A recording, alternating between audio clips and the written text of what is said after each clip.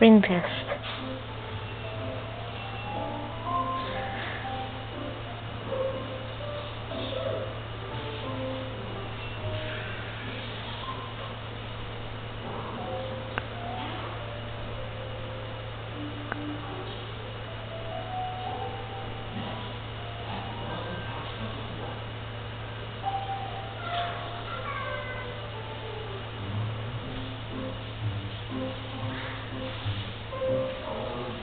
I am not doing anything with my hand.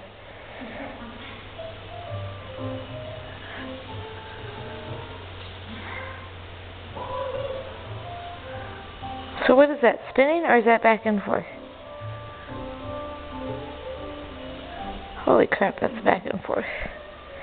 If it's back and forth, it says a girl. Spinning says a boy. We'll see.